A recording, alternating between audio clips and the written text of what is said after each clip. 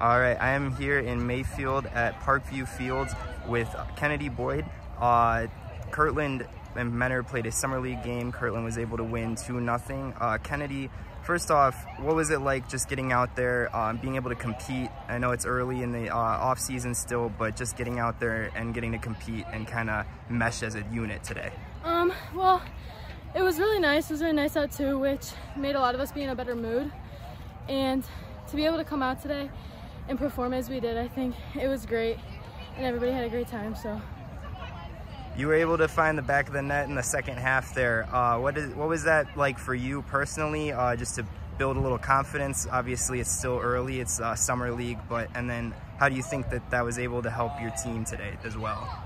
I mean, it's a lot.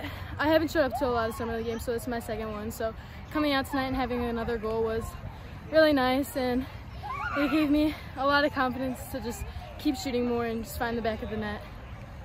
And then you guys were able to hold uh, Mentor scoreless today again. Um, it, uh, your second game that you guys have been able to hold your opponent scoreless that um, I've been to.